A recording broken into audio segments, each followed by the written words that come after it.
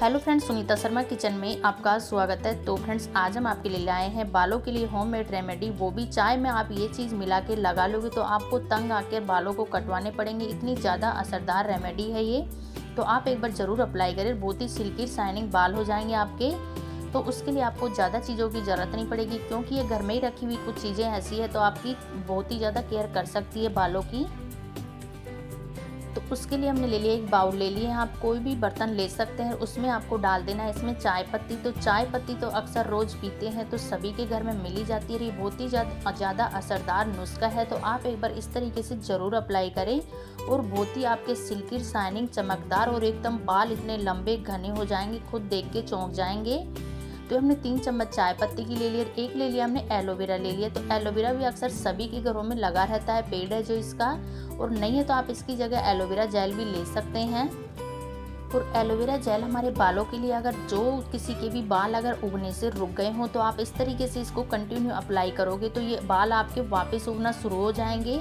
और इतनी silkie shining हो जाएँगी, खुद देख के चौंक जाएँगे। चाय पत्ती को भी आपको मालूम है, चाय पत्ती को लगाने से जिनके भी बाल अगर आपके बालों में शाइनिंग नहीं है और अगर बाल आपके ज़्यादा सफ़ेद हो रहे हैं तो आप इस तरीके से लगाओगे तो बिल्कुल काले हो जाएँगे, आपके नेचुरल बाल वापस आ जाएँगे।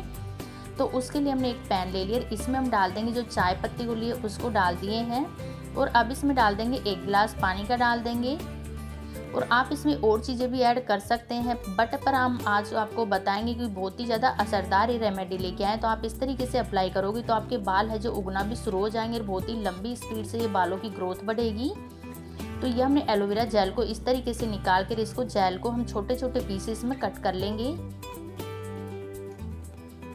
आप चाहो तो इसको मिक्सी में पीस भी सकते हैं बट इस तरीके से कट करोगे तो भी पूरा अच्छे से जेल इसका निकल जाएगा और एलोवेरा में बहुत ही ज़्यादा इसमें फ़ायदा करता है हमारे बालों के लिए। अगर आपके बाल टूट भी रहे हैं तो उसमें भी रोकने का बहुत ही जल्दी ये काम करता है और चाय पत्ती भी हमारे बालों को बहुत ही ज़्यादा मजबूती देती है। तो मैं ये घर की चीज़ें लेके आई हूँ, बहुत ही ज़्यादा असरदार है। और फ्रेंड्स आपसे रिक्वेस्ट है कि वीडियो पसंद आए तो लाइक और कमेंट करके ज़रूर करें। चैनल पर नए हैं तो सब्सक्राइब करें। और अभी तक आपने हमारा फेसबुक पेज फॉलो नहीं किया तो वहाँ पर भी जाके फॉलो करें लाइक करें शेयर करें। तो इस तरीके से हमने एलोवेरा को जो जेल निकाले उसको इस तरीके से मैश कर लेना है कि छोटे छोटे पीसेस में ये कट हो जाए ये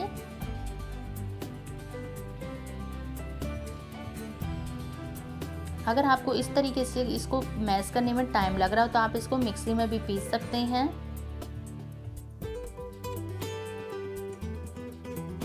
तो देखिए, बिल्कुल अच्छे से छोटे छोटे टुकड़ों में कट हो गए हैं। ये बहुत ही ज़्यादा अपने बालों के लिए बहुत ही ज़्यादा फ़ायदा करता है। एलोवेरा जेल है जो। तो अक्सर इसको ज़रूर लगाना चाहिए। अगर किसी के पास न भी हो तो आप इसको ये जो रेडीमेड वाला जो मार्केट में मिलता है बना बनाए ये एलोवेरा जेल, आप वो भी यूज़ कर सकते हैं। बहुत ही ज़्यादा फ़ायदा करता है। तो ये देखिए, इसका जेल बिल्कुल अच्छे से छोटे छोटे पीसेस कट कर लिए बिल्कुल जेल इसका निकल चुका है। और ये हमने चाय पत्ती को भी उबालने के लिए रख दिए थे तो आप इसको 15 मिनट के लिए हाई टू लो फ्लेम पे पकाना है कि इसका जो भी कस है चाय पत्ती का वो निकल जाए। और जो एलोवेरा के हमने पीस कट करके डाले हैं इसको, इसी में मिक्स करके अच्छे से पका लेंगे। तो इसका भी कस इसमें निकल जाएगा और आपको बिल्कुल भी इसमें मेहनत नहीं लगेगी, क्योंकि आपको धोने से पहले इसको लगा के केवल धोना है आपको बालों को। अलग से कोई मेहनत नहीं करनी पड़ेगी।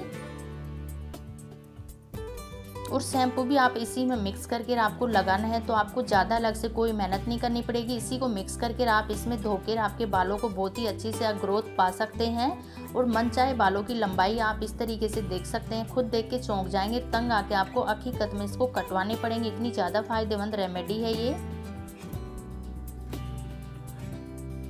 तो गैस हम बंद कर दिए इसकी हमारे को 10 से 15 मिनट हो चुके बिल्कुल लो टू मीडियम फ्लेम पे इसको पकाते। तो ये चाय पत्ती बिल्कुल अच्छी से इसका कस छोड़ दी है रंग छोड़ दी है ये। तो ये हमारे बालों को बहुत ही जल्दी काला करती है और बहुत ही ज़्यादा ये हमारे बालों को बहुत मज़बूत बनाती है, जड़ों को ये।